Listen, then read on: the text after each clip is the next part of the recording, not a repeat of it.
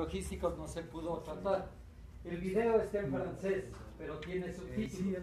Este no sé si lo alcanzan a leer o si yo voy leyendo y ustedes van viendo el video y yo voy leyéndolo. Pero en español.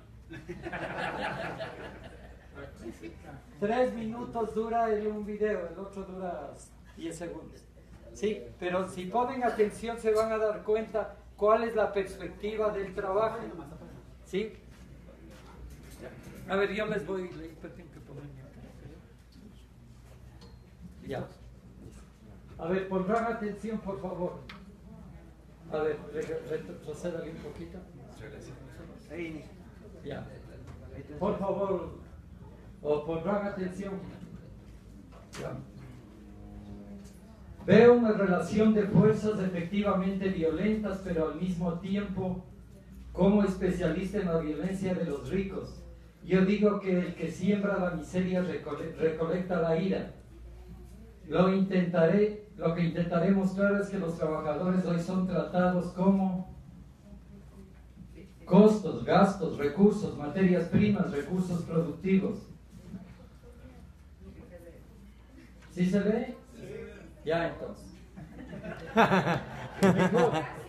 Pero pongan atención, por favor. Me quedé hasta recolecta. Ya. A ver, ahí va.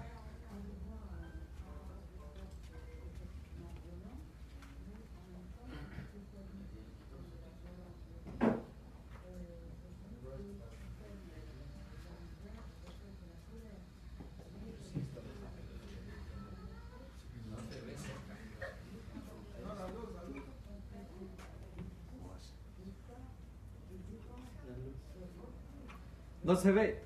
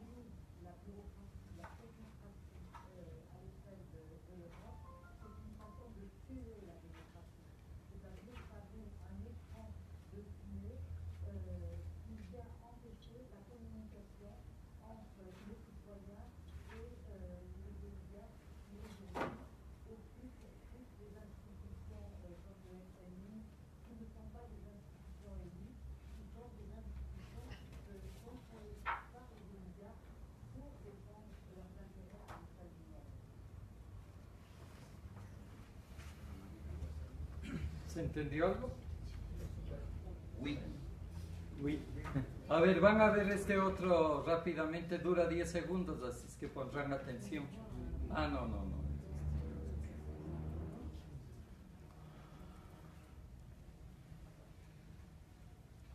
Ah, no. Ya, dejémoslo ahí.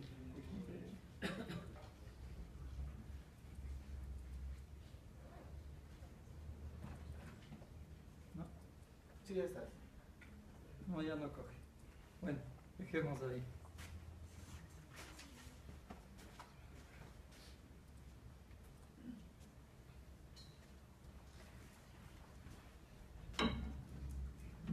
Hola. Muy buenos días con todos. Bueno, por un lado, qué honor estar con todos ustedes aquí presentes, eh, poder departir este tiempo que en realidad me dijeron que es un tiempo súper corto y un tema súper complejo para hacerle un tiempo súper corto, que es el tema de la legislación laboral. Por otro lado, eh, el, el honor también de haber escuchado las palabras del distinguido economista. Digo eso porque también vamos a tomar algunas cifras, porque como ustedes vieron está íntimamente ligado, eh, lógicamente, al desarrollo de los procesos de producción del sistema. Algunos datos. Bueno, iniciamos con esta imagen, eh, me parece muy interesante. Simplemente no existen países pobres, existen países saqueados, explotados, esclavizados, pero no pobres. Lo interesante acá de la imagen es que justamente los países donde tiene mayor acumulación de la riqueza, los encontramos en el hemisferio norte. De hecho, hay también hay unos temas políticos hasta de hegemonía que tal vez la mayoría lo sepa, como que hay eh, unos mapas mundis donde aparentemente Groenlandia es más grande que Sudáfrica, perdón, que América del Sur, o simplemente lo que es Rusia o Euroasia, lo que es Asia, Europa, es más grande que África y Sudamérica juntos.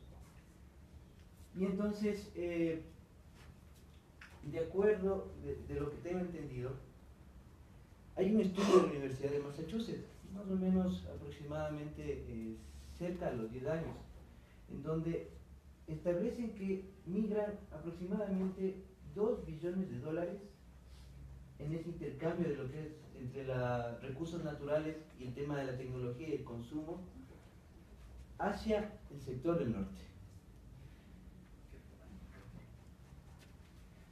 Ya van a saber por qué voy empezando desde arriba. Bueno, entonces, como lógicamente eh, lo entendemos y ya lo sabemos, en este caso el capitalismo sería un sistema de intercambio desigual. Le pongo aquí dos caras de la moneda. Justamente tenemos este río en el medio, como que fuera esa diferencia, eh, se puede decir, de continentes y cosas así. Aquí tenemos al capitalista que se apropia del trabajo realizado por parte, en este caso, del pescador, o algo un poco más coloquial, en este caso, en esta mesa servida, el pueblo que no tiene nada, el gobierno que atiende al sistema bancario y el gran ganador, el especulador y todo eso. Aquí hay un dato interesante. En enero del 2018 eh, hay un análisis sobre el tema de la distribución de riqueza. Y eso que es del Banco Mundial. Y en esta parte dice, el capital humano y el capital productivo representan dos tercios y un cuarto respectivamente de la riqueza mundial. Es decir, prácticamente la mayoría, o casi todo, la riqueza mundial depende en su gran parte de ese capital humano que vendríamos a hacer nosotros, que es la denominación a lo que nos han dado los que tenemos la mano de obra, y el capital producido, producido que tengo entendido que es maquinaria, eh, tema de edificaciones, todo lo que tiene que ver en general con, los bienes eh, introducidos en la producción. Ahora, justamente tomando en cuenta el, tema del video, ¿por qué les pongo el tema de la distribución de la riqueza? Va a ser algo esencial en el tema del desarrollo del, en este caso de la legislación laboral o del derecho laboral. Hay que tener presentes en este caso, eh, menos del 1% acumula el 45.2% de la riqueza mundial. Y el 71%, que seríamos la mayoría, se establece que apenas nos repartimos el 3% de la riqueza. Ahora, ¿cómo vamos a entender eso en, un tema práctico? Lo vamos a ver más adelante. Disculpen que sea un poquito breve, pero es por tema del, del tiempo. Bueno, le pongo el cuadro en cifras. Eh, para más o menos tener una idea, el Producto Interno eh, Bruto del Mundo, de acuerdo a unos datos que se aquí igual del Banco Mundial, estamos en 75 billones de dólares. El PIB del Ecuador, estos datos son para el 2016, los que están ahorita establecidos en esa página web. El PIB del Ecuador está en 98.613 millones de dólares. Si hacemos una división, eh, si sacamos el porcentaje, el Ecuador representaría en el mundo, en el PIB mundial, el 0,129%. El 0,129%.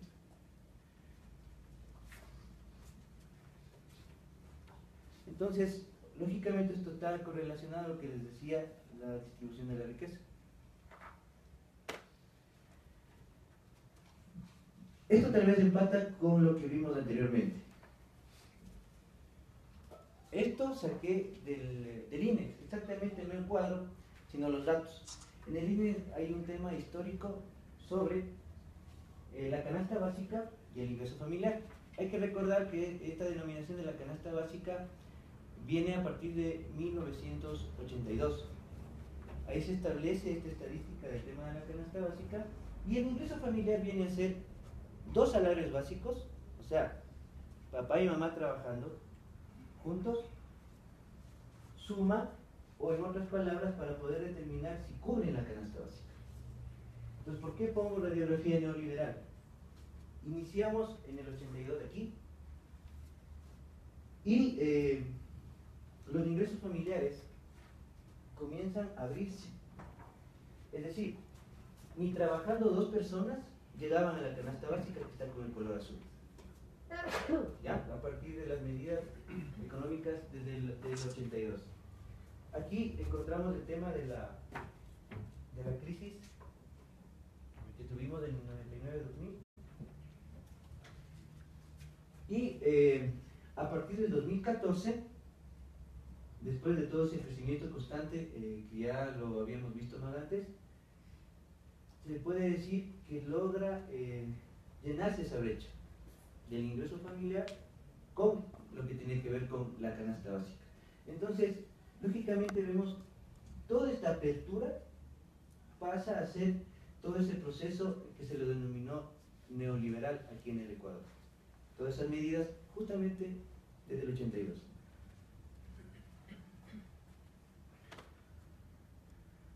Bueno, estos son los datos de más o menos de la distribución que tenemos.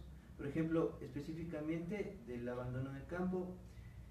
Todavía eh, esto está en base a, eh, a los censos de población, que eso se da cada 10 años. Entonces, lógicamente tenemos el 90, 2001 y el 2010.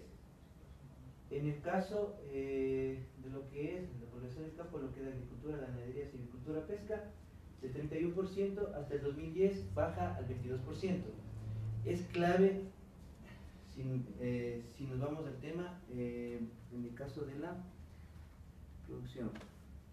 Ahora, este dato es interesante. La remuneración mínima exigida por la ley para este año, o sea, subió de 3.75 a 3.86. Es uno de los aumentos salariales más reducidos. Específicamente eh, suben 11 dólares, pero a porcentaje es del 2,93%. Es decir, hasta el 2014 venía un orden de aumento del 9 al 10%, justamente para poder llegar a tratar de cerrar esa curva que les indiqué más antes. Y actualmente eh, prácticamente se ha dado en base a una inflación proyectada. Y, lo último fue el 2,93%. Más o menos eso da a menos de 7 centavos por hora de trabajo. Eh, para, obviamente para los años eh, que se vienen se prevé que sea menos, justamente por el tema que hablaban de, del ingreso de deflación. Y eh, en todo ese proceso anterior del neoliberalismo no existía esa indexación. Indexación quiere decir que se acoge al tema de la inflación. O sea, la aumenta de acuerdo al porcentaje. Ahora, este es el ejemplo que les quiero dar para entender el tema de la esa inequidad en la redistribución de la riqueza. Digamos, si yo gano el básico, tomando en cuenta el decimotercero, el decimocuarto, diciendo que yo he conseguido un trabajo estable desde los 20 años, con 45 años de vida productiva, me refiero, o sea, me llegaré a jubilar a los 65, por toda una vida sin gastar un solo dólar en nada, diciendo que fuera una máquina y no un ser humano, apenas llegaría a acumular de forma legal 243 mil dólares. Tomen en cuenta incluso la mayoría de cosas de cuánto están los valores. Un ejemplo, si fuera del sector público, el servicio, eh, trabajo de servicio apoyo 6, por ejemplo, uno de los eh, eh, básicos se puede decir en, en el servicio público. En este caso, lo mismo, 45 años de vida productiva, 421 mil dólares. Quiero que tomen estos datos porque ya vamos a entrar a otra cosa también. Y así fuera yo presidente de la República, tomando en cuenta que fuera un presidente joven, 50 años, el tema de que me tienen que dar una pensión vitalicia, tomando en consideración que el promedio de vida está en 76 años. Igual, la esperanza, sí. Apenas llego a acumular 1.900.000 dólares. Ahora, igual, de una página web cojo la, el ranking de las empresas, sobre todo por ingreso de utilidades, del 2017, lógicamente, y eh, sumando las 50 empresas privadas del 2017, quitando... ¿Puede puede retroceder la cuadro anterior? Ya, ya le ayudo. Ahí. Sí. Ok. No va la pantalla. Entonces, eh, de las 50 empresas del ranking de más ingresos que tienen, privadas, solo privadas, del 2017, se tuvo un ingreso en utilidades de unos 2.300 millones de dólares aproximadamente. De eso, descontemos el 15%, tienen un ingreso solo de utilidades, sí, brutas, pagando impuestos y todo, de 2.000 millones. A lo que me refiero es, comparemos el ingreso que tenemos como personas, me refiero con un trabajo lícito, cumpliendo todos los estamentos legales y todas las cosas que nos obliga, se puede decir, eh, la sociedad, o en realidad el ejercicio de ese poder punitivo de la sociedad, comparando el ingreso que ellos tienen, y aquí en nuestro país. Es astronómico. ¿Sí puedo pasar, ¿no cierto? Aquí tenemos los datos. Lógicamente, riqueza generada por los trabajadores. Es lógico eso. Ah, el dato de los Panama Papers es un dato también interesante cuando hablaban de la fuga de los capitales. Eh, bueno, cuando todavía estaba vivo, lógicamente, Asamblea de Justo Cayame, yo eh, a conocer que 280 personas habían movido cerca de 30 mil millones de dólares hacia fuera del país. 30 mil millones de dólares que a la época hubiera hasta sobrado de los déficits que teníamos en esa época por el petróleo y el tema de la deuda que iniciaba en ese, en ese entonces a, pasar más allá del 20%. 56 corporaciones, dicen, agrupando a 158 64 sociedades con de offshore. Ya, eh, estos datos quiero que se lo tome en consideración para lo que vamos a entrar ahorita, que es específicamente el tema laboral. Como les dije, eh, en realidad tengo un corto tiempo, de acuerdo a lo que me han explicado, pero es fundamental tener estos antecedentes para poder comprender el tema, eh, se puede decir, la esencia doctrinaria en este caso. Bueno, eh, yo estoy más que seguro, tomando en consideración, la mayoría nos hemos de haber leído el Código de Trabajo o demás leyes accesorias. Tal vez lo que busco aquí no es exactamente solo reproducir las leyes, porque es algo que tal vez lo estemos manejando, viviendo día a día sino más bien unas formas de interpretación que nos permita generar unas herramientas para eh, poder tener puntos de vista distintos y cambiar algunas cosas. Bueno, lo que tiene que ver con lo laboral, lógicamente un antecedente eh, básico e importante tiene que ver con la historia sobre las relaciones, en este caso, eh, de producción. Tenemos desde el esclavismo, el tema del vasallaje en el tema del feudalismo, actualmente la relación de la explotación, de lo que se establece en el sistema capitalista,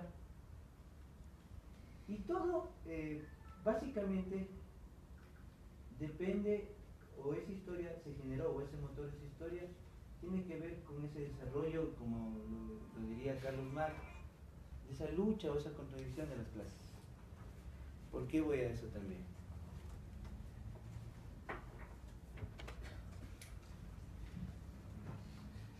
Aquí sí viene el tema. Seguridad jurídica, ¿han escuchado eso? Seguridad nacional. Seguridad ciudadana. Tal vez son discursos, dependiendo la coyuntura o el momento histórico.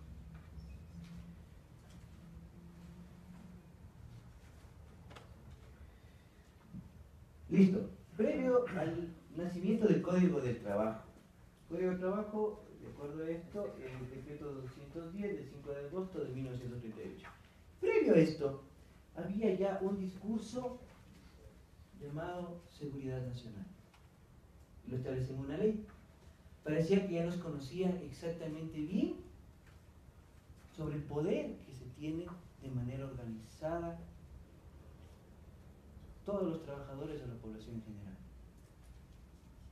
Ahí en esa ley, cuando hablaban de seguridad nacional, sancionaban con prisión de 3 a 5 años, y si me permiten ahí sí leer, no, no por hacerlo cansón, toda labor individual, colectiva, inclusive de propaganda, encaminada a establecer la dictadura de una clase social o a transformar los sistemas políticos, económicos, jurídicos o sociales de la República. En rojo les pongo aquí. La promoción de huelgas violatorias de leyes que las regulen. No se olvidarán de esto, vamos a encontrar eso muy seguido. El comunismo y en general todo doctrina que atente contra la existencia de la sociedad y el Estado se declarará fuera de amparo legal. Esto es el antecedente antes de a, que se promulgue el Código de Trabajo. ¿A qué tenían miedo? Desde ya a las huelgas, desde ya a un trabajo organizado. ¿A qué? A transformar los sistemas políticos, económicos o jurídicos. Tomen eso en cuenta.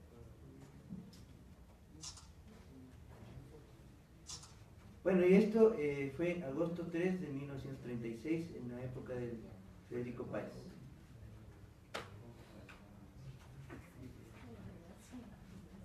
Ahora vamos a entrar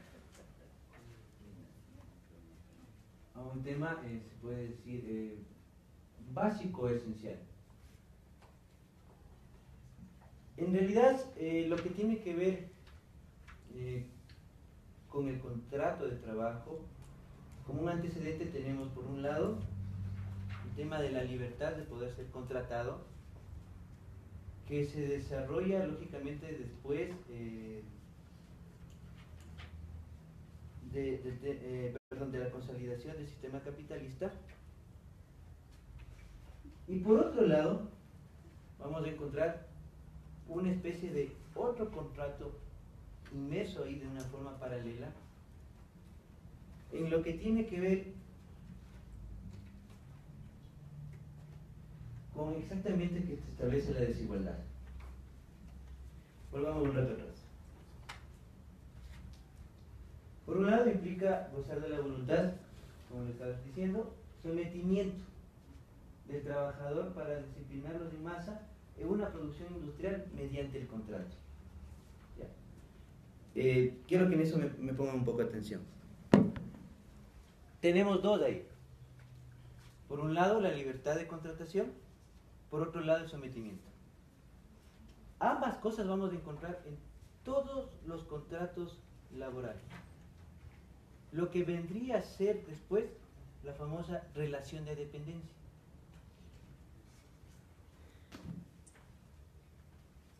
Entonces, eh, como les decía, viene a ser una mezcla entre libertad y contrato de sometimiento.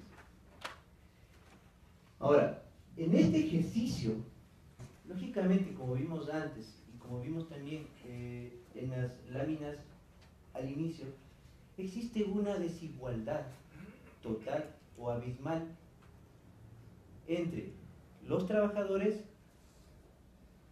y los dueños, en este caso, de las empresas, de las maquinarias, del capital, de la tierra, etc.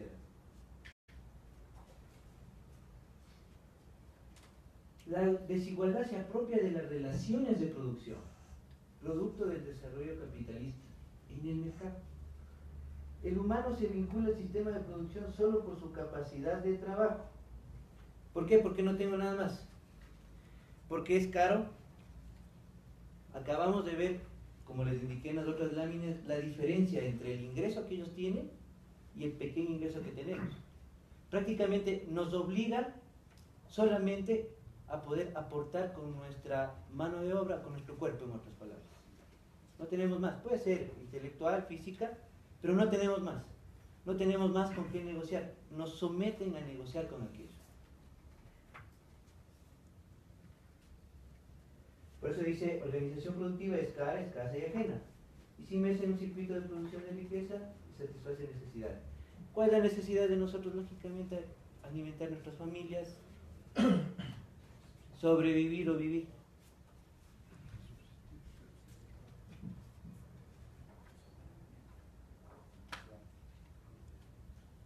Entonces encontramos lógicamente que todo esto nos conlleva una relación de extrema desigualdad, donde, como les estaba diciendo un poco más antes, una persona solo cuenta con su mano de obra, a la vez, por esas condiciones opérrimas en las que estamos, de extrema desigualdad, hay abundante mano de obra. Por eso tenemos un montón también de desempleados. Y por lo tanto, el trabajador se somete. Porque si no, ¿con qué damos de comer? Por otro lado, a la, contraparte tenemos la otra persona que es la dueña de los eh, instrumentos de producción, escasos, caros, aquellos, por lo alto de su costo. Por eso les decía ver las otras láminas dueña de la llave de la producción, la relación de dependencia es la desigualdad específica laboral. ¿Por qué? Porque genera una posición de dominio. Y ya vamos a encontrar después por qué.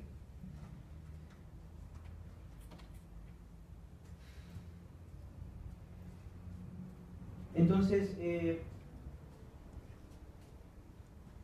el empleador o dueño de la organización de producción de riqueza puede incluir o no al trabajador se decide si le dan trabajo o no. Ese es un poder. Puede tomar esa decisión. Puede mantener o separar al trabajador del círculo de producción de riqueza. Ahí radica el segundo poder. Es decir, puede despedirle. ¿Sabe que ya no quiero? ¡Chao! Y le traigo a otro porque hay un montón. Entonces la desigualdad deriva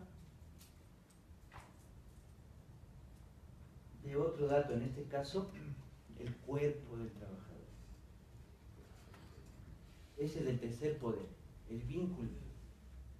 Entregamos nuestra, nuestro tiempo, nuestro esfuerzo, nuestra vida, nuestras horas que deberíamos de partir a las familias u otra clase de cosas. Se va nuestra vida ahí.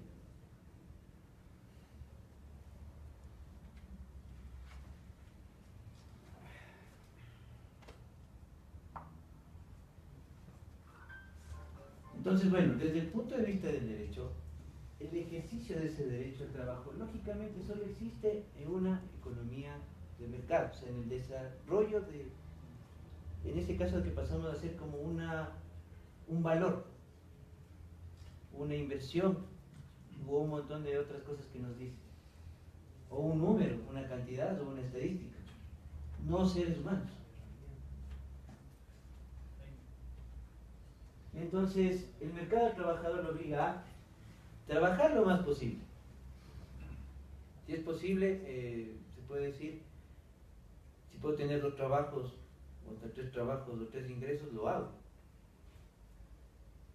En las peores condiciones posibles.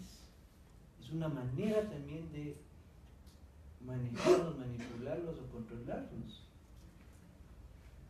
De hecho, em, se puede decir que a más pérdida de derechos, a más pérdida de ese ejercicio organizado para de alguna manera tratar de contener ese poder de dominio,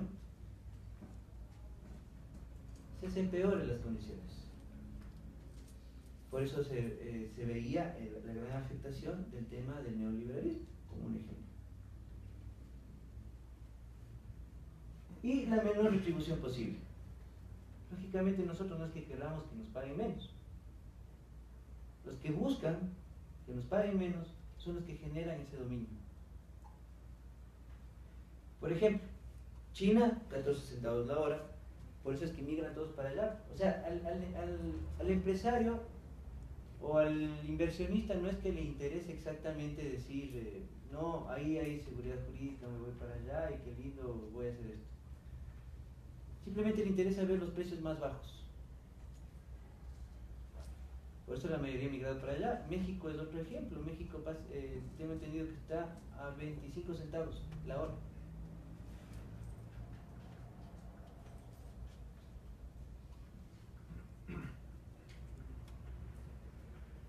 Ahora, el aparato de organización productivo, me refiero a los empresarios, a los dueños del capital, trata de maximizar el, retorno de su inversión, el retorno de su inversión, tener ganancias, o sea, sacarnos a nosotros. Por eso este hace dibujo. Pagar lo menos posible, por lo que el derecho viene a ser en realidad un sistema de protección ante esta decadencia de desigualdad. Y aquí vemos la imagen, que se exprimen hasta el último centavo. A nuestros cuerpos. De hecho, esto está íntimamente también relacionado al derecho penal. Porque es muy simple. Por un lado, forma de adquirir el dominio, sabemos, ¿cierto? Legal, tengo que someterme, tengo que trabajar, me pagan poco y esa clase de cosas. Y adquiero un bien. Pero si es que yo no quiero adquirir legalmente, me meten preso. Ejemplo, robo, hurto, estafa, defraudaciones y un montón de cosas más. Por darles un dato, la población carcelaria del país está cerca de los 38 mil. De eso, aproximadamente el 24% solo son por delitos contra la propiedad. Por darnos un ejemplo una idea. Es decir, el otro, el 29% que también es otro grupo grande, es el tema de, la, de las famosas drogas, la comercialización con drogas. Entonces, para darnos más o menos cuenta de cómo está el funcionamiento y el sometimiento del sistema. Si hago lo legal, me quitan todo. Si hago lo ilegal, igual me quitan el cuerpo con que trabajo. Ya. Entonces, por eso, eh, para comprender el tema, viene a ser un sistema de protección.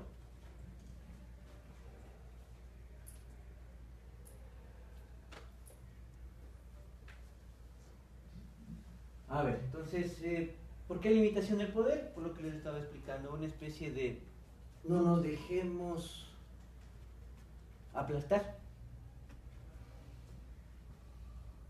Entonces, por ejemplo, la jornada de trabajo viene a ser un elemento para poder capturar la medida de la prestación del trabajo, para medir el trabajo y su relación al salario. Ejemplo, trabajo tantas horas o tanto se produjo y tanto se impone salario. ¿Por qué les digo esto? Ya vamos a ver después, porque vamos a entrar, quiero que tomen en cuenta esto, vamos a ver incluso algunos ciertos preceptos constitucionales que fácilmente se leen, pero tal vez eh, no se comprende el mensaje que nos están imponiendo ahí. El derecho para proteger al trabajo haría un ejercicio de redistribución del poder, es decir, limitar el poder. Lo que genera establecer condiciones mínimas de trabajo mediante, por ejemplo, los horarios máximos de trabajo o un salario básico. O sea, una forma de limitar es decir, bueno, señor, usted no puede hacer lo que le da la gana. Usted tiene un poder, sí, pero le vamos a limitar en ciertas cosas, ciertas medidas básicas. Entonces tenemos, nadie podrá trabajar tantas horas o nadie podrá recibir menos de esto, por darles un ejemplo.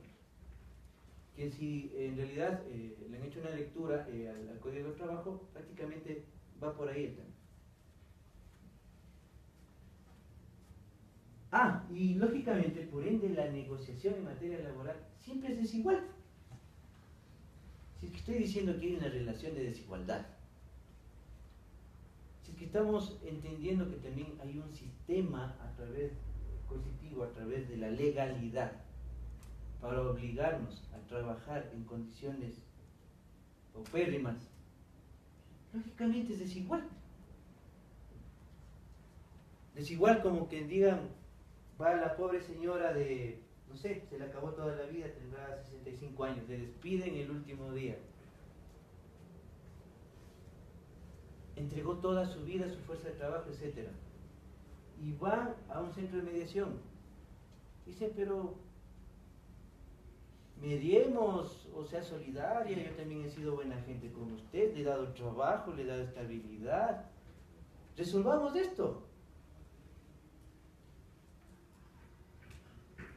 Les dan, les bajan los valores. Acepta a la señora porque no tiene otra condición más. ¿Por qué acepta? Porque hay un tema de desigualdad. Porque hasta yo seguir el trámite legal y todo lo demás, tal vez yo ya me tienen que ir a, a pasar la pensión, pero a los hijos. Estaré al otro lado. Entonces, todos esos conceptos hay que tomar en consideración. También una forma de poner un límite es los derechos a la libertad. Por ejemplo, algo que sí se ha visto últimamente es que, bueno, ahora se supone que yo puedo ir vestido como quiero o expresar libremente las cosas. Pero lo que quiero que entiendan es esto. En, en muchos lugares se lo hará y en otros no. Pero hay un detonante, es la organización colectiva es la organización sindical, es la organización de la gente.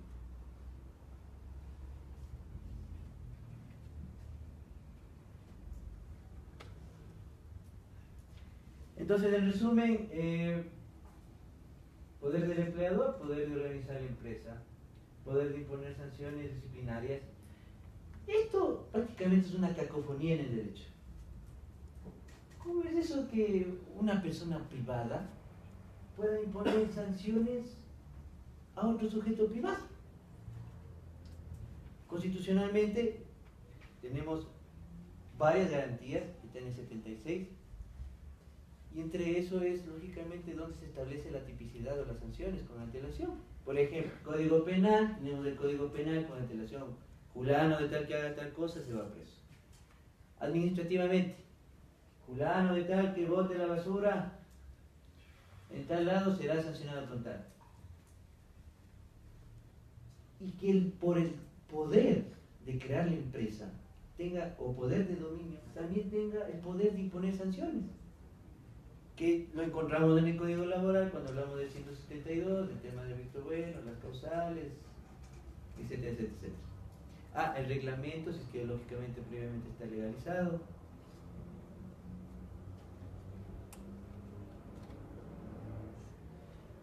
Ahora sí hay una contraparte, porque si no estábamos muy tristes. Los sindicatos ayudan a compensar el poder de los trabajadores socialmente versus del poder económico del empleador. Técnicamente hay varios poderes.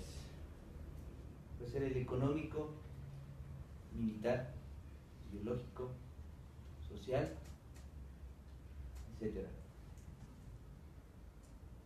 Y si nos agrupamos, ¿qué poder vamos a ejercer? El social. ¿A qué vamos a, de alguna manera, tratar de equiparar al económico? Las normas imperativas. Lo que hacen es limitar la autonomía de la libertad solo en perjuicio del trabajador. El contrato colectivo le pone límites mínimos al contrato individual. Es decir, si nos organizamos, aquí hay un tema de Tenemos desde el tema legal, la constitución, las leyes que puede ser el tema del código de trabajo. Y no solamente veamos el tema del código de trabajo, también en la ley de, orgánica de los, del servicio público. Van a ver que hay ciertas similitudes, después ya vamos a topar aquello. De hecho, ya mismo llegamos para allá.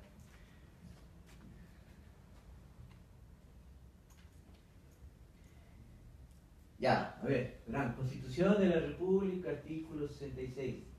En rojo, trabajo. Se reconoce y se garantiza a las personas, tomarán en cuenta lo que dice ahí. Después eh, van a caer en lo, en lo otro como una conclusión. Derecho a una vida digna. Vida digna, que asegure, lógicamente, para que sea vida digna, salud, alimentación, nutrición, agua potable, vivienda, saneamiento ambiental, educación, trabajo, empleo, descanso, ocio, cultura física, vestido, seguridad social y otros servicios sociales necesarios. Todos tenemos eso. Ya, pero tomará en cuenta que es vida digna.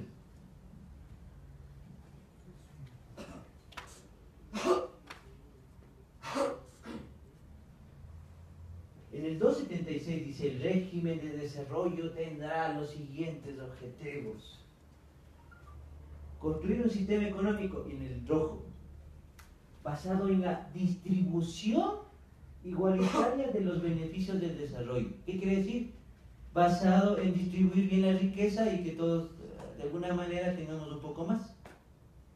Eso dice la Constitución de los medios de producción y en la generación de trabajo digno. Ojo, y estable. ¿Por qué el rojo estable? Porque lógicamente mientras nos corten la estabilidad, tiene más poder, lógicamente, el dueño de los instrumentos de producción, el dueño de la empresa, el dueño de la maquinaria, el dueño del aparato de producción de riqueza. Porque como no tenemos un lugar estable, nos sometemos a lo que ellos dicen. Eso también en cuenta.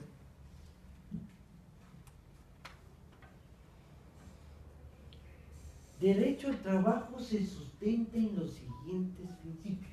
326 dice. Los derechos laborales son irrenunciables e intangibles. Por un lado. Por otro lado, lo que les decía más antes. 11 en el mismo artículo. Será válida la transacción en materia laboral siempre que no implique renuncia de derechos. Pero si es que ya sabemos que es un tema de desigualdad extrema, como les vuelvo a decir, ¿qué garantía hay inmediata?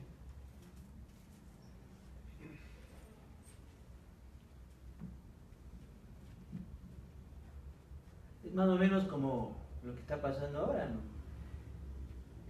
Por ahí le escuché a un ministro que decía que ya han cumplido con ocho cositas para poder el próximo año ya firmar el TLC, porque eso les imponía. Entonces, ¿de qué negociación hablan?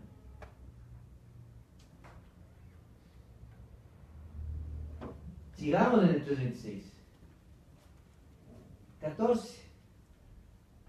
Se reconocerá el derecho de las personas trabajadoras y sus organizaciones sindicales a la huelga. 16. En el tema del servicio público, lógicamente, tendrán derecho a la organización para la defensa de sus derechos, para la mejora en la prestación de servicios públicos y a la huelga, acuérdense de 1936. de conformidad con la Constitución y la ley. Camisa de fuerza, acordarán. Y nos remataron, lógicamente, con, lo último que pasó ahí, que no se sometió a, votación popular, que fue a través de la Asamblea. Solo habrá contratación colectiva en el sector privado.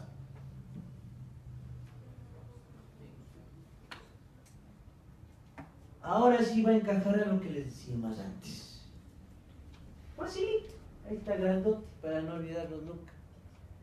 La remuneración será justa. Justa.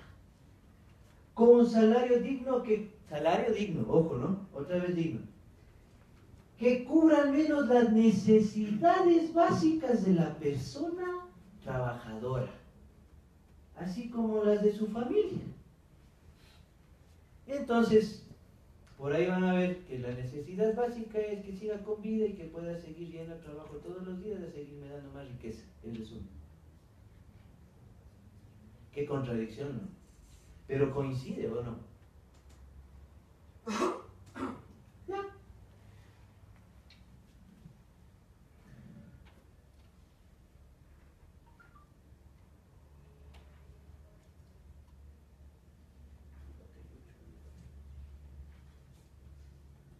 a la coyuntura actual, mejor vote y luchen. O, o no vote y luchen. Hay algo interesante, dice, si el voto cambiara algo, sería ilegal. Ya vamos a entrar al tema de la huelga, ¿verdad? Si el voto cambiara algo, sería ilegal. Como les estaba diciendo más antes. La huelga solo se puede hacer mediante qué? conforme la ley y la constitución. Y si no, en 1935, penado con 3 a 5 años. Igual acá, sometámonos a la ley. No hagamos nada. Sí, eh, Sí, es que lo, lo de cartel lleva, lo, lo- la pintada esta lleva, lleva trampa. ajá. el no vote y luche. Porque en realidad no hay ninguna normativa que diga con tanto porcentaje de votos se gana una elección. Es decir, si yo no voto, o si voto en blanco, o si anulo el voto, en realidad lo que estoy haciendo es aminorar el universo del total de, de votos. Dicho de otra forma, es más difícil conseguir, si por ejemplo se ganasen las elecciones con el 30% de los votos, es más difícil conseguir el 30% de 100 que el 30% de 70. ¿no? Entonces le hacemos un favor a la ley. De acuerdo. De hecho, analicemos con, como diría don, don, Carlitos Marx, desde el punto de vista de la determinación económica.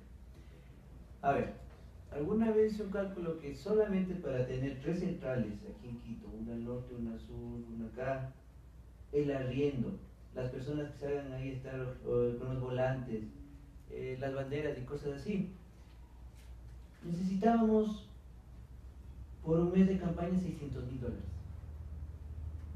Acuérdense de lo que les decía más antes, la redistribución de la riqueza, los ingresos que tenemos, obligatoriamente tenemos esos ingresos, unos, unos un poco más, unos un poco menos. Así sea presidente de la República, sin gastar un dólar, llegaba apenas a 2 millones, mientras que estos manes que manejan todo, aquí en el país, apenas las 50 empresas llegaban a 2 mil millones de dólares en un año. Veamos esa diferencia. Entonces, lógicamente, en realidad, aparenta ser que, eh, no aparenta, en realidad es así. Tenemos un poder punitivo de coerción, es decir, un poder de contención para que nosotros no les aniquilemos a los de arriba, nos aniquilemos entre nosotros. Si vamos a ver las cárceles, y que eso es noticia todos los días, el 99.9% son pobres. ¿Por qué? Muy fácil. El general sale a, a buscar al, al delincuente, coronel. No. El cabo, el sargento, el policía raso, ¿de dónde viene? Del pueblo. Y a la que, a quien mete preso, a otro pueblo, a otro pueblo, a otro pobre. Y ese pobre, ¿a quién le robó? A otro más pobre. Porque tal vez no tenía carro, porque no tenía eh, seguridad privada y cosas así. Exactamente, entonces nos matamos entre nosotros para que los otros sigan gobernando. Algo así es lo que nos impone el tema de la, en este caso del sistema jurídico. Veamos ese otro punto de vista. Como les dije, eh, me encantaría irme de largo un montón de cosas, pero me dieron un tema muy grande, que es el tema laboral. Sin embargo, sí podemos discutir después. Bueno, concepto de trabajador, artículo 9, como dice la ley. Persona que se obliga a la prestación del servicio o de la ejecución de una obra. Es decir, puede ser trabajador tanto en un servidor público como el señor de la construcción de una obra, un albañil. Sí. Se denomina trabajador y puede ser empleado u obrero. Este dato es interesante. Acuérdense lo que les decía. El tema de la organización, del aparato que produce la riqueza, o sea, los dueños del capital, de la tierra, de las maquinarias, de las fábricas, de las empresas. Esto saqué del INEX igual. Porcentaje de empleo público respecto al empleo total, total nacional. De cada 10 plazas de trabajo, 9 son generadas por el sector privado. Eso es actual, a marzo del 2018. No había otro más. Y una plaza es generada por el sector público. Entonces, eh, vemos ahí que entre el 92% en el 2007 y se mantiene el 92% 2018. Sector privado. Los que ganan. En realidad, el, último dato era que eh, sacaron de utilidades 9 mil millones de dólares este año. Yo solo les daba un dato de las 50 empresas con mayor ingreso como para darles un ejemplo. O sea, ellos no pierden. Por eso se supone que necesitan más mano de obra. Y el sector público está en un tema del 7 al 8%. Es bajo. Entonces, es que necesitamos desmantelar, mandar presos, ¿cómo es mandar? A la calle como 80 mil o 100 mil servidores públicos. No, pues, no va por ahí el tema. No es que el Estado, que bestia, que el Estado ha dado siempre. Miren que esto va del 2007 al 2018. No es que el Estado siempre ha dado un montón de trabajo a estos burócratas, han generado un montón de, de riqueza y por eso el país creció a tanto nivel. Es un discurso que recién no me están diciendo por la tele.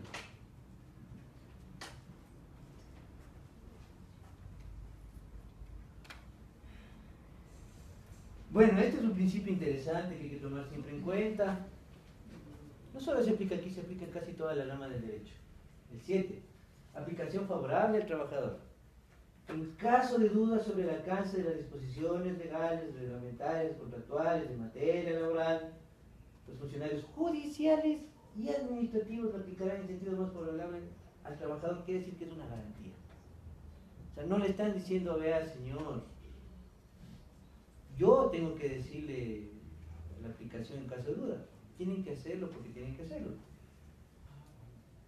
Les pongo estas contracaras para después hacer igual otro mini debate en ese tema.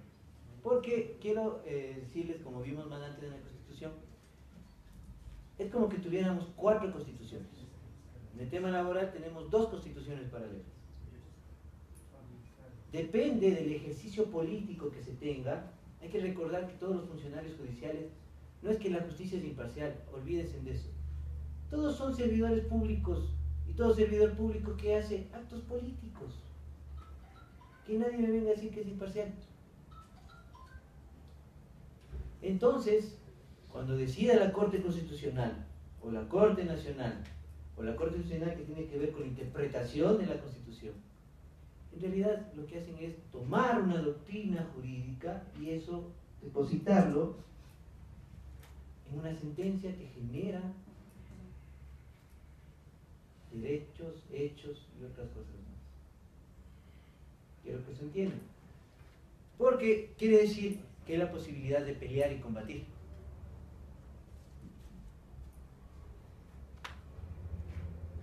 Esta es la parte bonita que le di, le di como esencial en este corto tiempo. La gente ignora el poder que tiene. Es interesante cómo le diagraman, le ponen al Señor al final, en este caso de, de ese palo, la gente está parada al otro lado y se salen de ahí y se cae todo. ¿Relacionado o no con la huelga? La paralización del sistema productivo.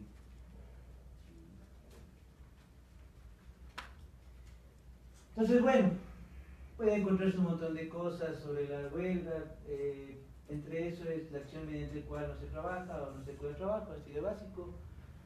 O que holgar toma el concepto de descansar cuando se está fatigado, sobre cuando la respiración ha quedado perturbada, de ahí pasa a descansar. Como un tema tipo, eh, se puede decir, eh, hasta histórico, porque había una sobreexplotación. En el 467 encontramos el derecho a la huelga del Código de Trabajo. La, la ley reconoce, y otra vez vamos a repetirlo de antes, a los trabajadores del derecho a la huelga con sujeción a las prescripciones de este párrafo. Huelga es la suspensión colectiva de trabajo por los trabajadores coligados. Nos comprimen la huelga. La huelga era algo más grande en la Constitución, ¿no? Se reconoce el derecho a la huelga. Ahora ya nos limitan la huelga. ¿Pu- ¿Puedes aclarar eso? Era que letras. ¿Perdón? La, la huelga es la suspensión colectiva. Claro, nos limitan. No puedo hacerlo individual. Exactamente, eso está diciendo. Por eso les digo, les limitan la huelga. El derecho constitucional que teníamos de arriba, no, pero quiero que me enteren en el tema de los conceptos, porque ya vamos a llegar a algo más allá. Eh, si no, nos perdemos con todo el respeto.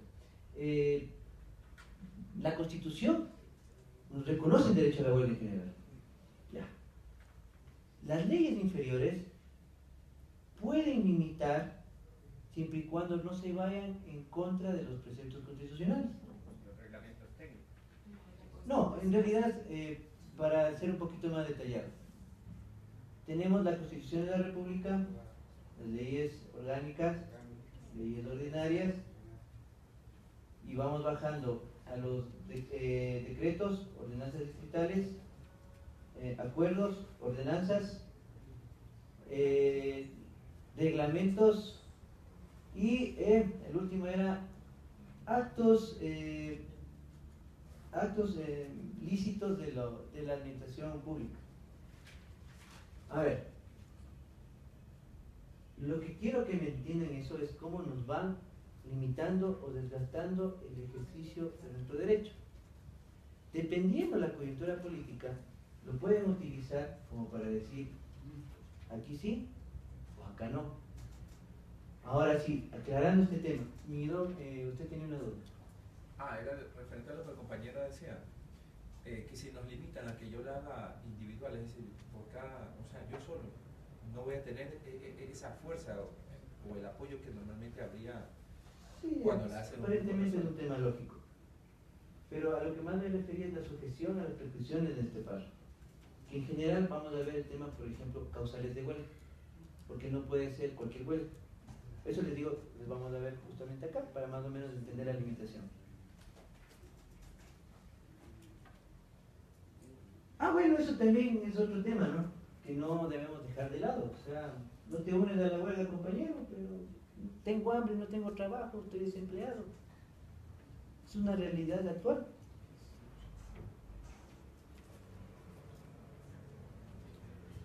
Porque a la final nos seguimos dividiendo y siguen gobernando arriba.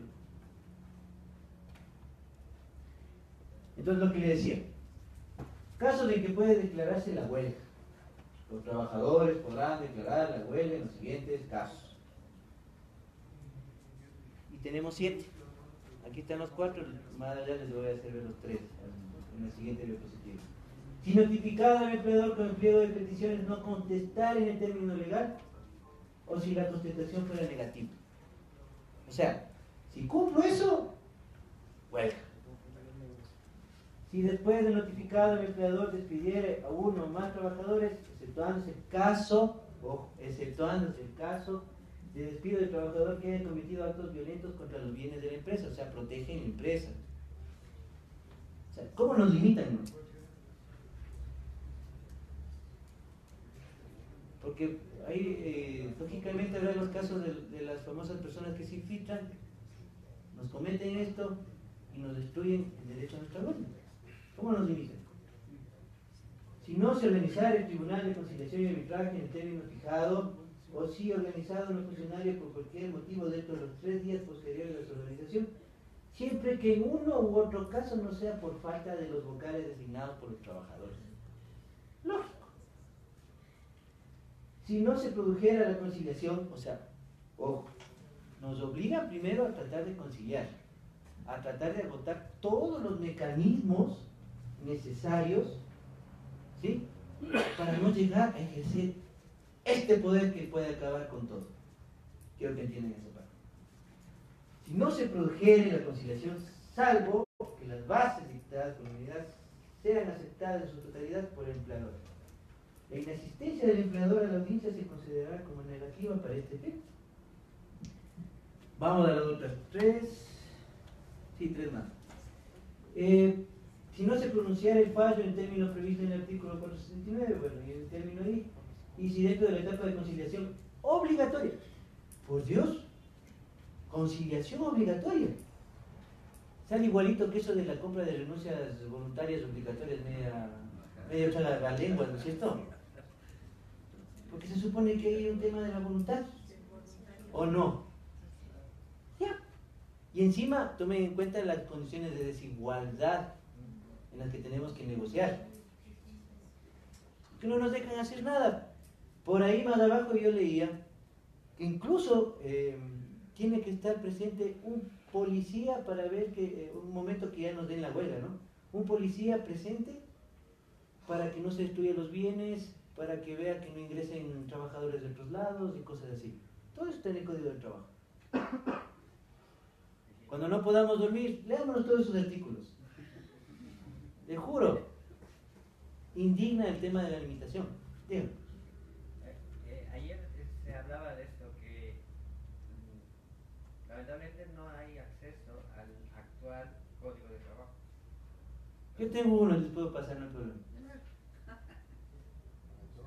No, sí, yo les dejo aquí. Pero ya, sí, gracias. Ya, ya mandó la, la actualizado, porque nos dijeron que había que tener cuidado con la última versión.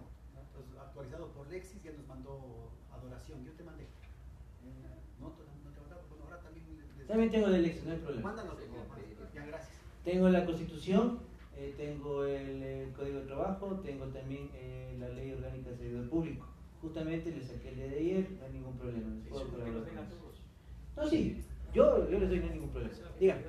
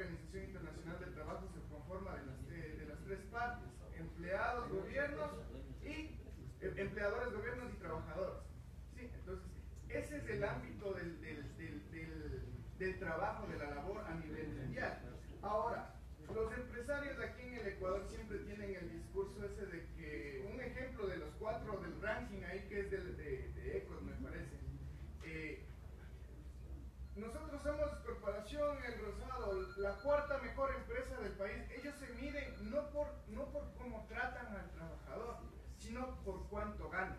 Entonces, no es mejor empresa la que más gana. ¿sí? Entonces, e- e- ellos se miden a su conveniencia y se acabó. Entonces, son cosas con las que los trabajadores organizados y los que no estamos organizados hacer tal vez una los, los que estamos organizados hacer una campaña para los que no están entonces ahí poder crecer nuestra nuestra masa de fuerza nuestra unidad nuestro accionar incluso entonces eh, he ahí el, el porqué de la existencia de las organizaciones sindicales dentro del sector público Hay, un tema, tal vez, si me permite, disculpa.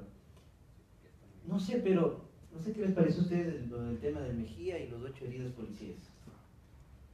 Por un lado, dije, qué bacán, dije, por un lado.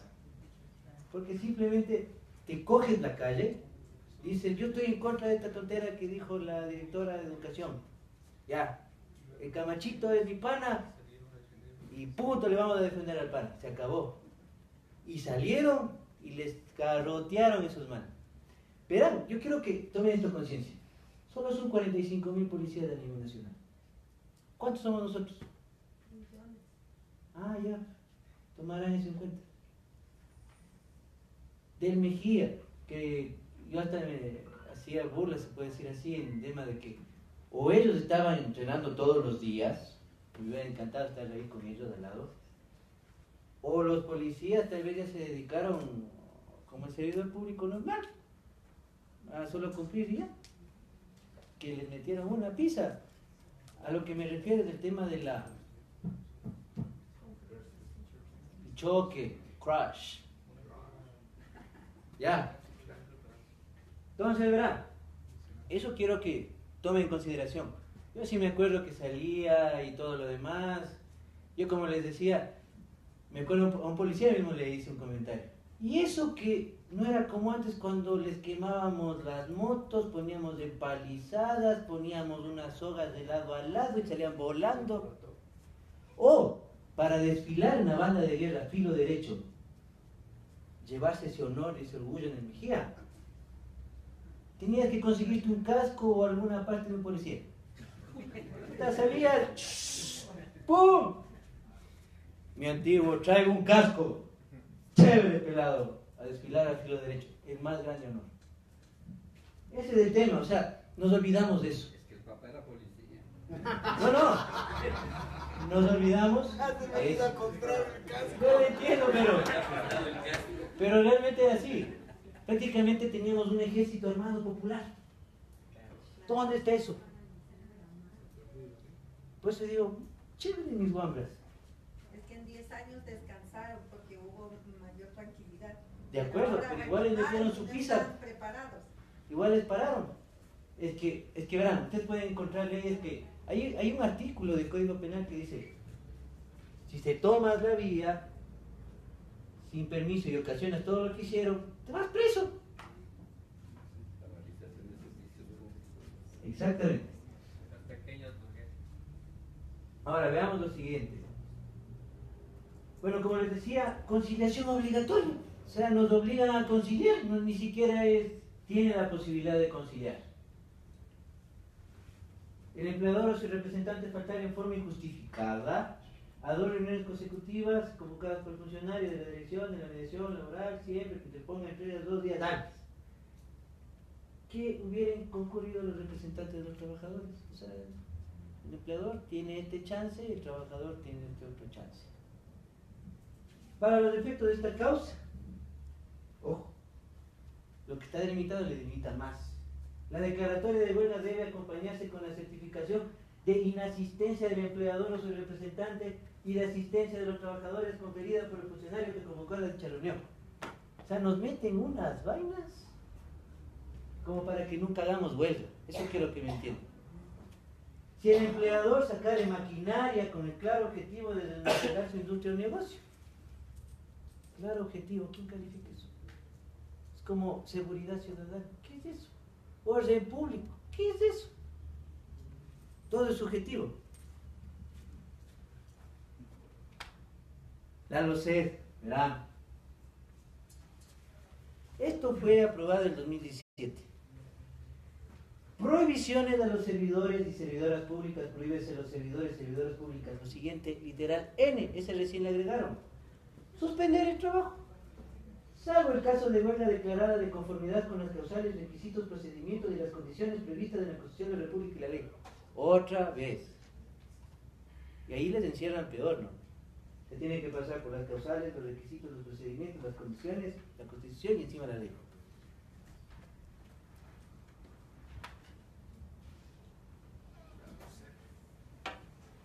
Hay un artículo que también ingresaron que es este, protección a organizaciones de servidores públicos. Ya.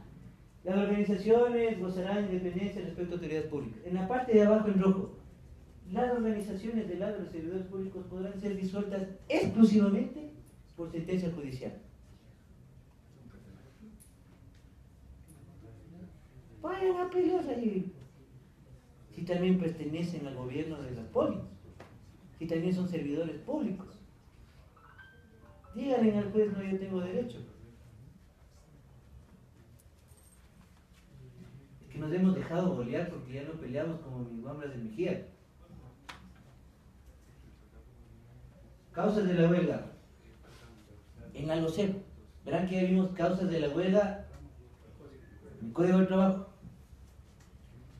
Cuando la institución del Estado incurre en intermediación laboral, terciarización prohibida por la Constitución.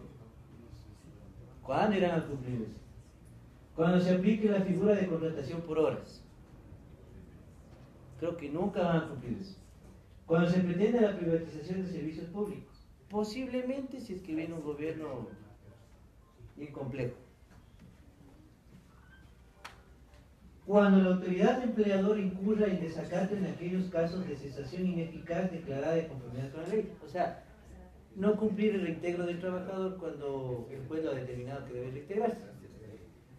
Cuando el respectivo conflicto colectivo no llegue a solucionarse en la etapa de mediación obligatoria. Otra vez, o sea, la misma, no sé si le ven que es la misma estructura.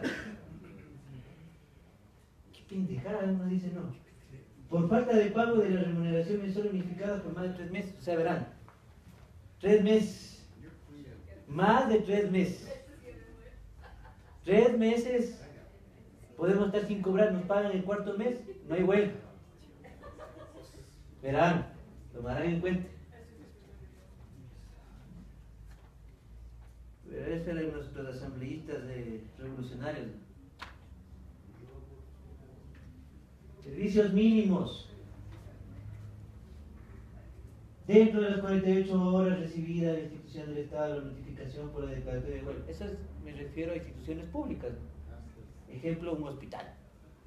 Las partes deberán convenir, otra vez acordar, negociar, sentarse.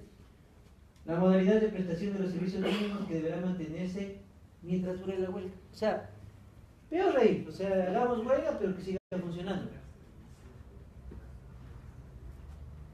con la permanencia en el trabajo de un número de servidores servidores inferior al porcentaje de la nómina, para efecto establecerá el Ministerio del Trabajo, o sea, entre ellos mismos. Dice, en caso de inobservancia, el Ministerio del Trabajo podrá ordenar el reinicio de actividades de ser necesario con personal sustitutivo. O sea, el tema es que no haya huelga. Y por si acaso se jalen, o sea, que se negaren a prestar sus servicios, a los sustitutivos también se les puede aplicar. Si no hacen caso, se les inicia un sumario. Así de fácil. Sumario fuera. Y aparte, por si acaso, si hay daños, también somos responsables civil, penalmente responsables. Entonces díganle a uno, anda a hacer la huelga. Qué miedo. Diferencia con el contrato colectivo. Diálogo social. ¿Qué es esa tontera? Está en el 325 que vimos que decía los principios de, en la Constitución de la República. Uno de esos es diálogo social. Y dice, en atención al, al numeral 10, del 326, perdón, establece el mecanismo de diálogo social a través del cual el comité de los servidores públicos, la máxima autoridad respectiva institución pública de la persona que decide su representación, podrá tratar temas relacionados con, verán, programas de formación y capacitación técnica hacia la excelencia. Parece publicidad de una empresa, nunca es tarde para aprender. Condiciones tendientes a mejorar el clima laboral, o sea, aplicación de la psicología industrial, cómo más podemos producir y cosas así. Seguridad y salud, en el trabajo, prevención de riesgos laborales. Políticas institucionales de inclusión laboral a grupos vulnerables, la atención prioritaria. Hasta ahí se acabó. ¿De qué más discutimos? O sea, si nos hacen cualquier cosa, no hay cómo hablar de eso.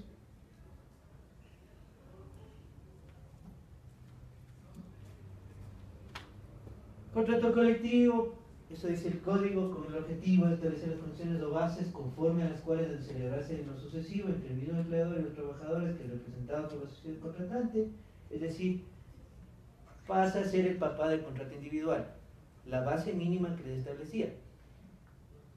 Quiero que entiendan esto. Si el código de trabajo pasa a ser una protección ante esa desigualdad permanente que existe, el contrato colectivo por ejercicio de la organización de todos pasa a ser como una colegislación, o sea, un nuevo código. Código chiquito para nuestra organización, pero código. En donde todos los contratos individuales se deberán someter a lo que dice ahí. ¿Sí me hago entender eso? Ahí está el poder de los pocos que nos quedan.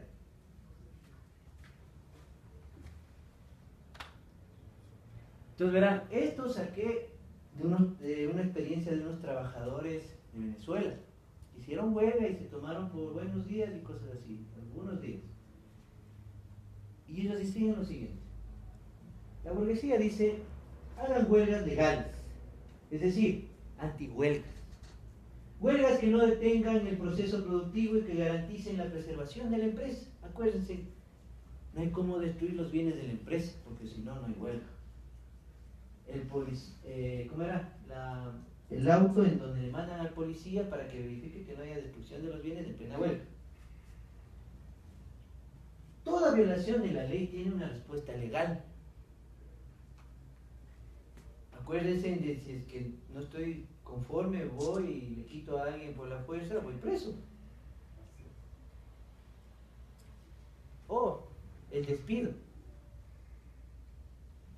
Es que me fui contra el empleador o destruí un bien del Estado mientras estaba en la huelga.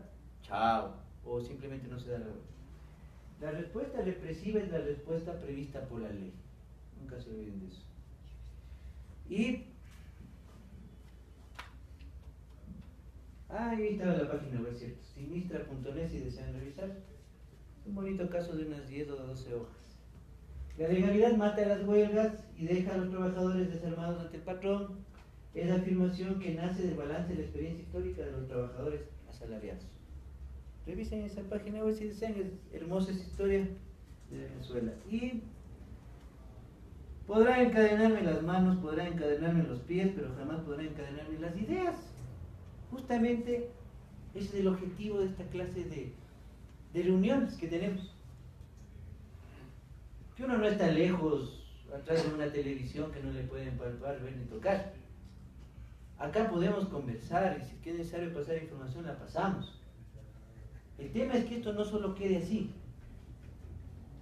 El tema es que esto se vaya de alguna manera a una especie de acumulación de fuerza en nosotros, de lucha.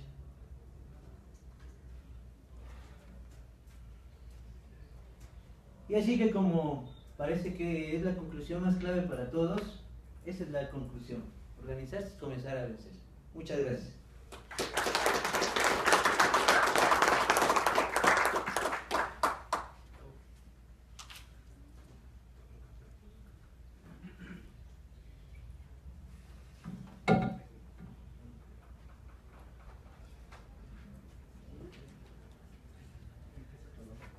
Ah, cierto, ahora.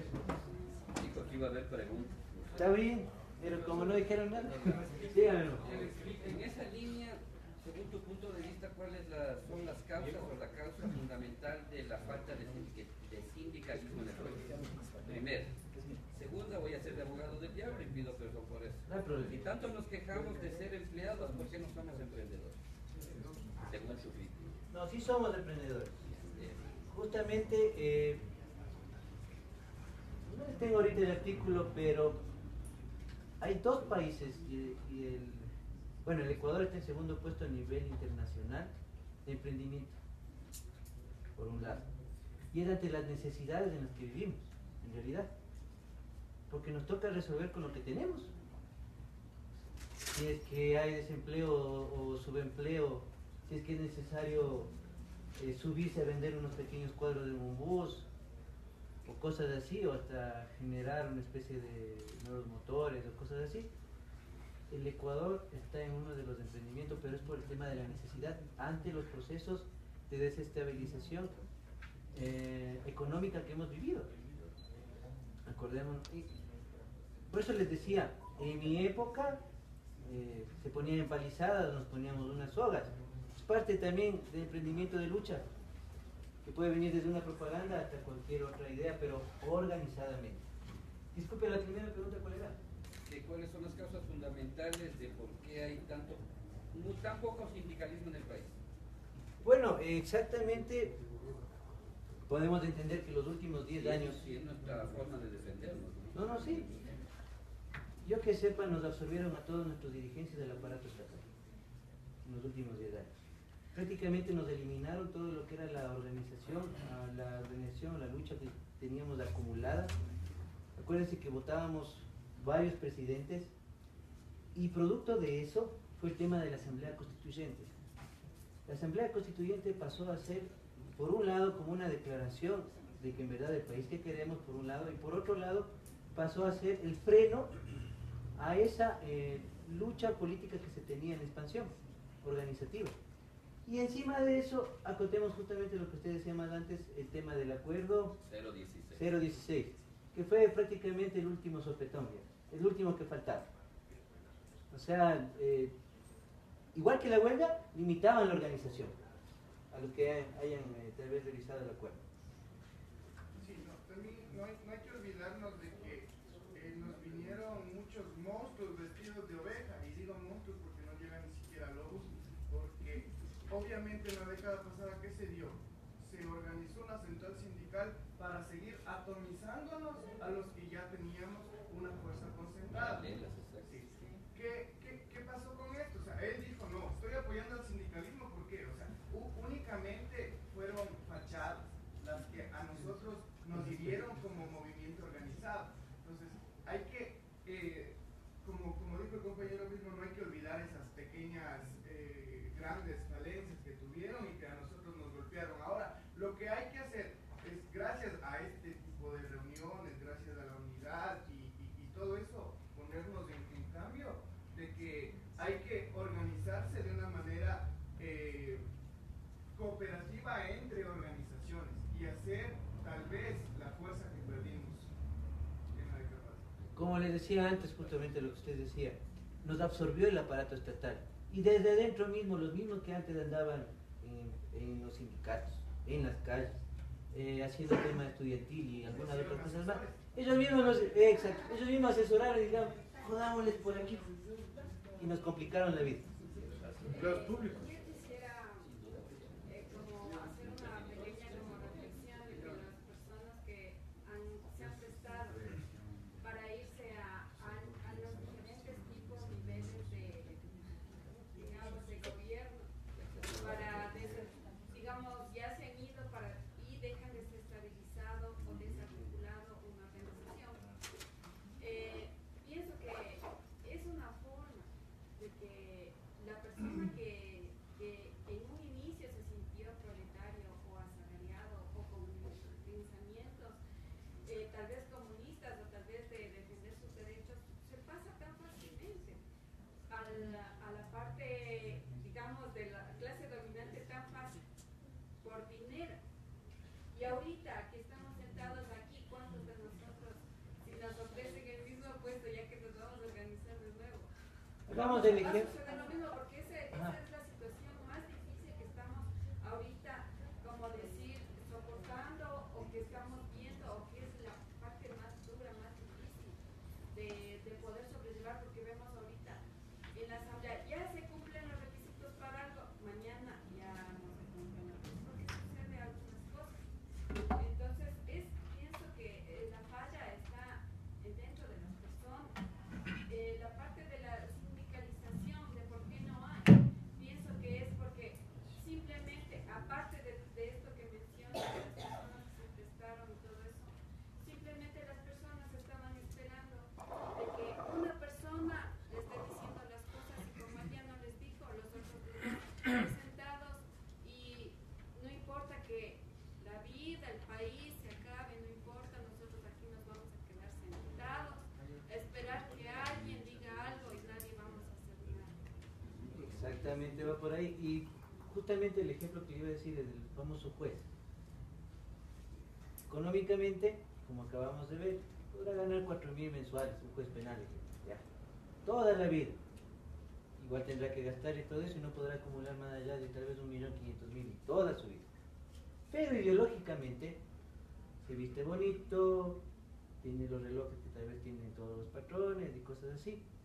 Y defiende lógicamente la ideología de ellos, defiende la posición política de ellos. Eso sería vez un ejemplo. Permítame decirle unas, algunas cosas que yo pienso, que yo viví, he vivido. Primero me parece una buena pregunta el por qué tenemos tan poca eh, sindicalización en el Ecuador.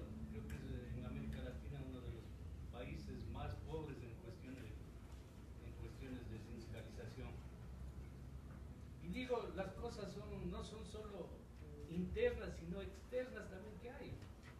Dentro de las externas, yo diría, por ejemplo, aquí ya se habló en antes de Pedro decía, la ley 133, en el tiempo de Rodrigo Borja. ¿Qué hizo esa ley? Estableció que los sindicatos para conformar lo que era 15 suba a 30. La mayoría de, empresas se jugaban entre 30 hasta 30 trabajadores con el fin de no eh, dar la posibilidad de que se haga un sindicato. Y en el sector público eso fue un ataque brutal. Y por eso es que eh, no hay la, la. Después de aquello, se crearon los holdings empresariales, recordarán ustedes. En una misma empresa, por decir esto es un, un- área de trabajo, la mitad era de una empresa, la otra mitad era de otra empresa, y así, así se fueron dividiendo las cosas. Entonces, todo esto en contubernio con los gobiernos de turno.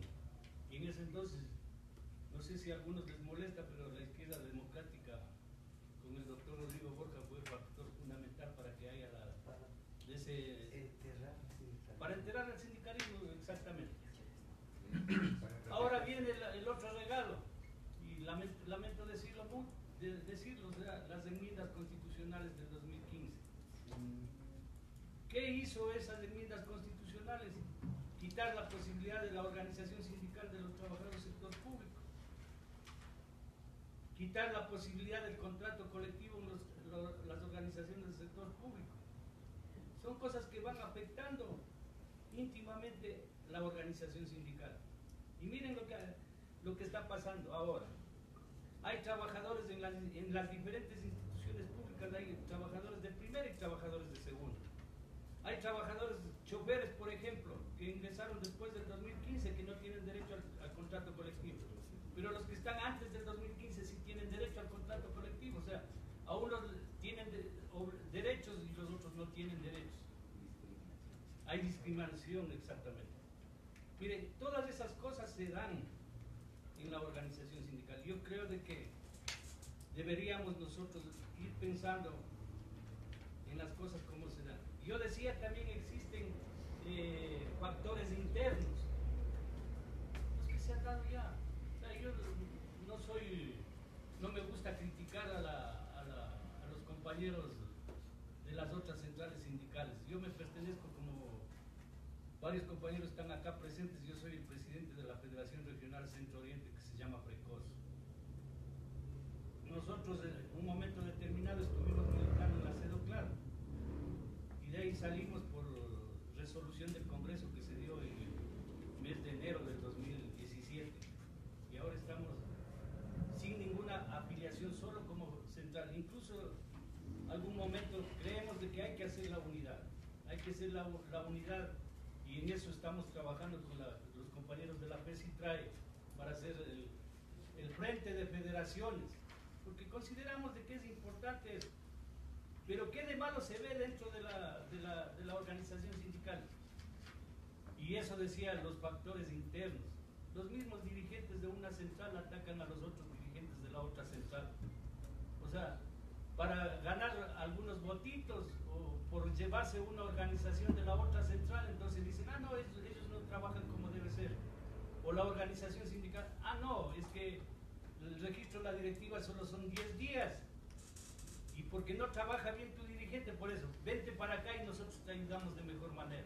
Competencia entre ustedes. O sea, esas son las competencias que deben dar. Cuando yo creo que deberíamos todos apuntalar a una situación de unidad, pues. Una unidad que signifique, o sea, eh, defender los derechos de los trabajadores. ¿Cuáles son nuestros derechos como organización, como, como dentro del contrato colectivo? Pero más bien estamos pensando en el otro, cómo le agredo a, la- a la otra federación, cómo le, le agredo a la...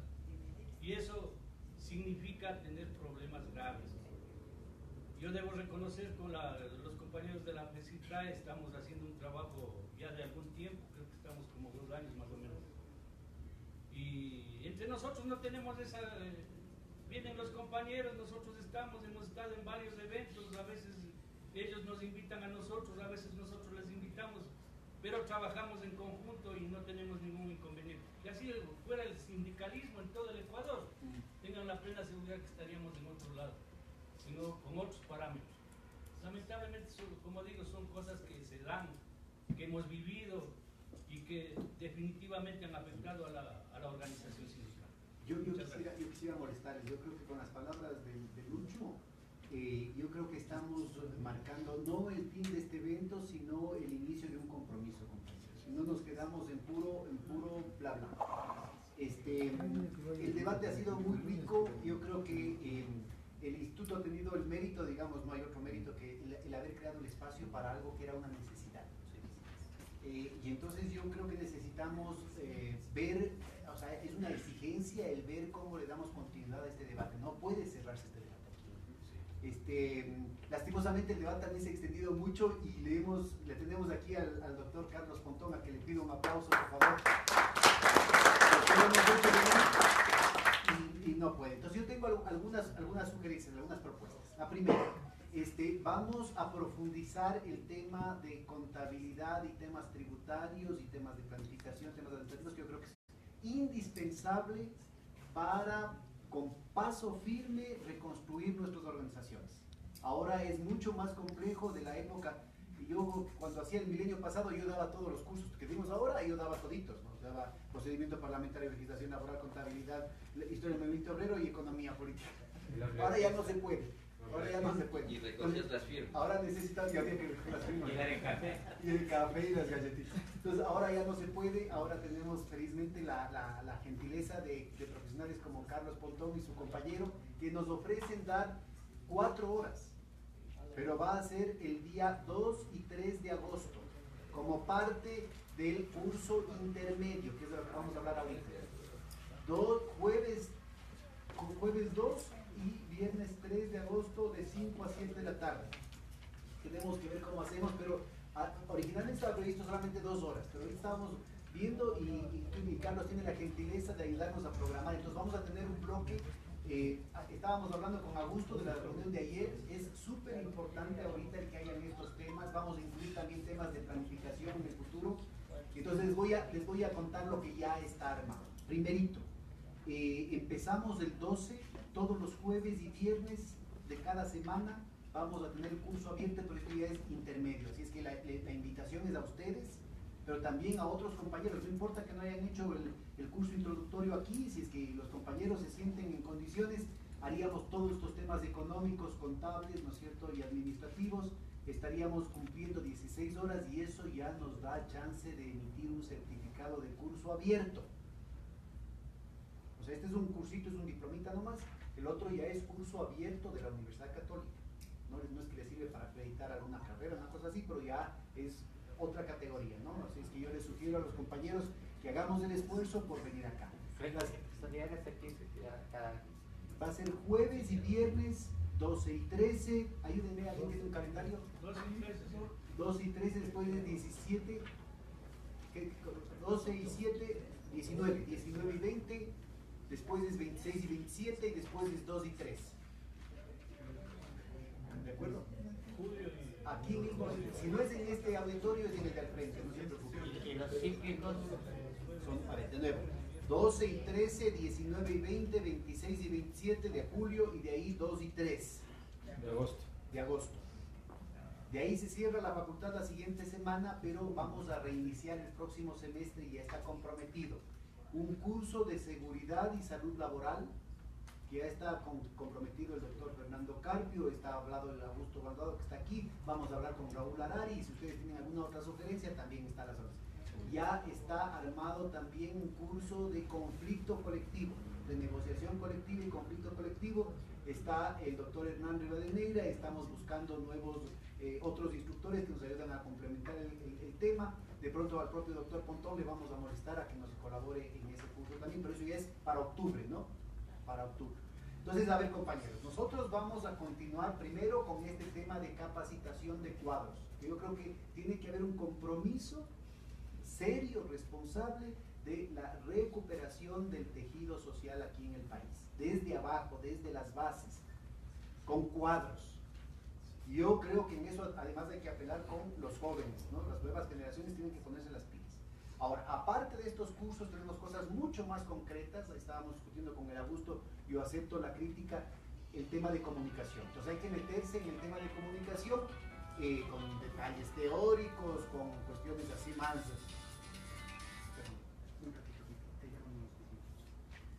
Pero, pero al mismo tiempo, y aquí está con Carlos, estamos haciendo un equipo con Carlos Pazmiño, un equipo para hacer videos. En nuestras épocas era, no, bueno, vos muchos creo que no te acordabas, pero en nuestra época era aprender a hacer con el, con el mimeógrafo, aprender a hacer con el- las seri- serigrafías, hacer los afiches, ¿te acuerdas que hacíamos así, Lucho, en nuestras épocas? En el medio pasado. No digo que no tengan que hacerse ahora, pero ahora yo creo que hay que aprovechar con gráficos, hay que hacer cosas pedagógicas, hay que aprender a manejar las redes sociales y yo creo que ahí sí es ineludible, compañeras y compañeros, los millennials tienen que ponerse las pilas. Porque los mayorcitos como yo, ya, yo esta cuestión todavía estoy esperando el tono de marcar para hacer las llamadas. Tiene que ser comedidos. Entonces necesitamos hacer también preparar esa situación. Ahora, en paralelo a esto hemos venido desarrollando, y es una cosa muy importante, porque está madurando, ya tenemos algunas ediciones del diálogo laboral, eh, entonces el siguiente diálogo laboral va a ser el 17 de julio para poder alcanzar, ahora que, estaba, eh, que, Carlos estaba presentando que el 5 de agosto se cumplen los 80 años del, del Código Laboral, a ver si es que, del Código de Trabajo, a ver si es que hacemos uno el 17 de julio y otro el 5 de agosto, conmemorando los 80 años del Código del Trabajo. En el diálogo laboral han estado presentes, hasta ahora hemos logrado que estén continuando la discusión, cuestiones muy plurales, compañeros de la revista Crisis, eh, la compañera Adoración Guamán, que es una compañera ecuatoriana-española, que es especialista en temas laborales, con una militancia larga en comisiones obreras, en la, en, eh, en la CNT, ¿no? En España. ¿no? ¿Dónde está la, Sí, la CGT, la CGT y comisiones obreras en España, y que ha estado trabajando también acá en temas laborales, de, tratados de libre comercio, tratados internacionales, el doctor Hernán Rivadeneira, eh, eh, eh, Hernán Rivadeneira y el ex ministro de Trabajo Carlos Marx Carrasco. Entonces, han habido broncas, pero nos estamos manteniendo, nos estamos manteniendo en el tema. En 10 minutitos ya. Entonces, es muy importante que tengamos esta situación, ¿no es cierto? Es muy importante que mantengamos las dos cosas, capacitación, creación de capacidades, o sea, capacitación de capacitadores, pero también el ir avanzando en un proceso, no de, de unidad, necesariamente de convergencia. Yo no digo que no tenga que haber debates y que no tengamos que hacer críticas, pero compañeros, bajémosle el tono. Lo que decía Lucho es muy sabio. O sea, todos estos pretextos, todas estas ocasiones son precisamente lo que le hace fuer- fuerte al enemigo, lo que nos mantiene divididos, lo que nos mantiene débiles, lo que nos mantiene impotentes. Sí, tenemos muchas cosas que criticar respecto al pasado, nos peleamos afuera, compañeros. Aquí a construir la unidad. Aquí a ver qué hacemos para el futuro, cómo organizamos para que no se regrese, porque además es una cuestión de una voracidad terrible. Se está peleando ahorita regresar a las 48 horas.